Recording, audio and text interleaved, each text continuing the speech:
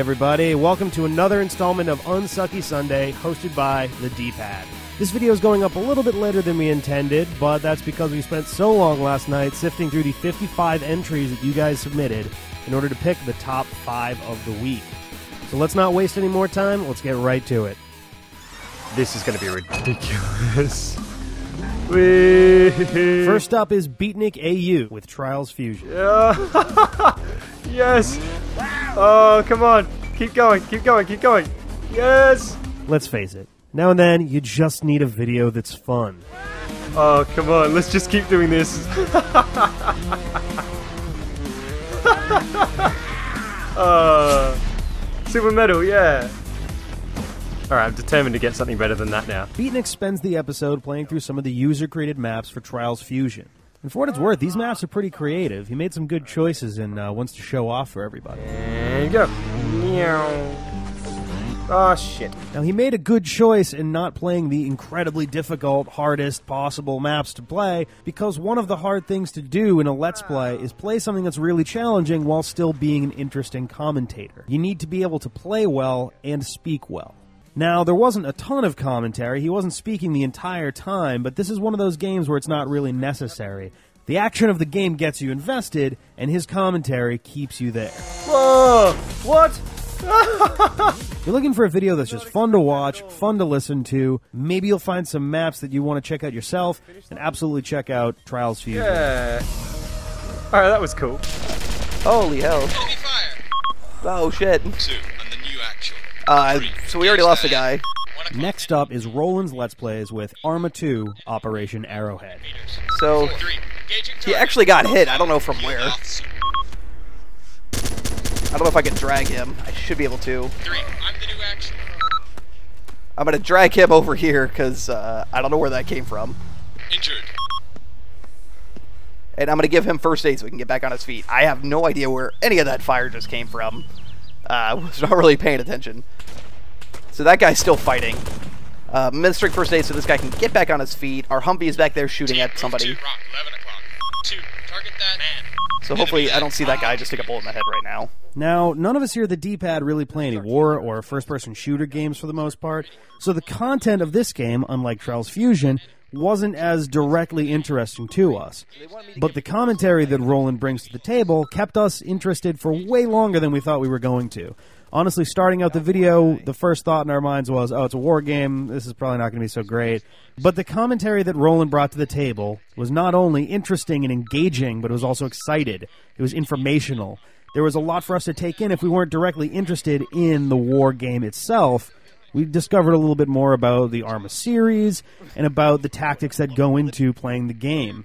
Roland's Arma 2 video was definitely the biggest surprise to us. We didn't come into this expecting to really like this video, and it wound up pretty easily being in our top five. Okay, return to base. Sweeper one out. Blow up. Wait, what? Do we have to blow it up? Why does it say blow up and then that's it? Okay, I see. Like that was totally confusing. Um, the radio commands kind of got jumbled and stuff there. And I guess that's the end of the mission. Um, so I mean, that was a nice short mission. My name is Rhapsody, and we're stranded. This is a new game by Peter Moorhead. It's an sort of a retro adventure point and click. I've played absolutely none of it so far. As far as I understand, we're an astronaut, and we are stranded on a planet. So let's try and get into it. Next, we have Rhapsody with Stranded, a brand new indie title that, even though by watching this video, you know, you, you'll see the beginning and the end and everything, you still just want to get into and experience for yourself. The atmosphere of the game is just amazing. The art style, for one, is just awesome. God damn. I am in love with this art style officially. I want to marry it and make love to it. Uh, your spaceship has crashed. You're wandering around this bizarre alien planet, and you're seeing these giant metal guardians everywhere.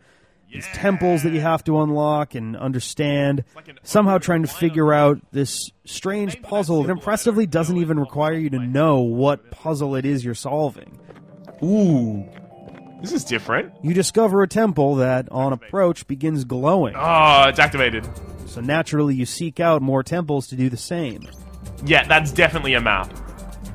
Here, there's the H, there's the O. It fills in the one that you're currently in. That's the cave, cave left, cave right. And the ship, which we came down through the cave, so it looks like that's not directly attached. Even though you don't know what you're doing, you still feel compelled to do it. And Rhapsody brings us along for the ride.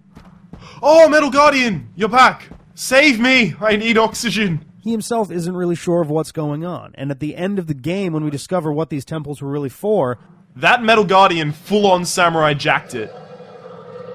he seems about as surprised as we are. I won't spoil it. You can go watch the video or play for yourself. What on earth am I supposed to do with that information? Why are you not glowing, H-Head? H-Head. We had an agreement vis-a-vis glowing. We did have one gripe with this video, and that is that the pacing is kind of slow. But granted, that's not Rhapsody's fault, and he too acknowledges that the walking is a little bit tedious. Okay, so that one's already activated. Come on. Let's get there. But for a blind run of this game, you couldn't ask for more. Go check out Rhapsody, and go check out Stranded as well. It looks pretty awesome. It's a fun little experience. I absolutely adore the art and the background music, and hopefully you've been enjoying yourself. Uh, I actually saw a thing the other day that had like the ages of all the Disney princesses. Guess how old Jasmine is? In the movie? Yeah. 18. 15. Yeah.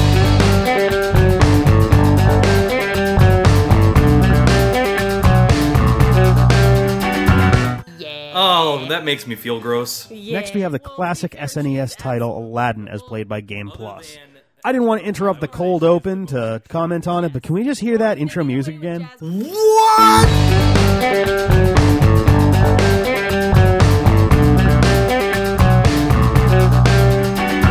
God damn, that's good stuff. The chemistry between these guys is fantastic, and while one is playing, the other is commenting in a way that is both productive and funny. I told you how watch Abu. Wow! All right, they're not distracting themselves from the game to make the joke, but they're also not so heavily invested in the game that they can't make commentary. Until he until he gets drunk and he starts telling racist jokes. oh my god, Abu! Stop. I told you. I can't take you into public.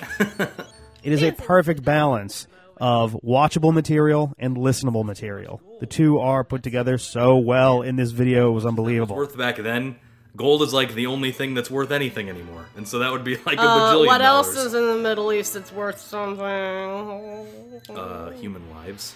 Well, yes. Plus, maybe you'll learn a little too much about monkey politics and cat penises. Uh, Prince Eric is apparently like everybody's favorite Disney prince. I think he's just your favorite. No, I actually, think that's what he's that kind of not. Who is? Simba. If we're Adult talking- Simba. Let's not be gross. with the hooked penis. Uh, but What? don't lions have hooked penises like wolves? I don't know. if they that's do, true. I don't want to know that. No, don't Google it. Don't find it.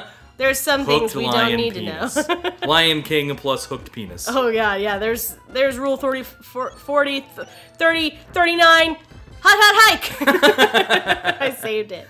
Seriously, these guys were hilarious, and all we wanted to do when it was done was watch more. So go check out Game Plus right the fuck away. I can't. Oh my god! In one try, Are you serious? Wow. What the hell's wrong with you? I'm amazing. Well, you're gonna continue to be amazing.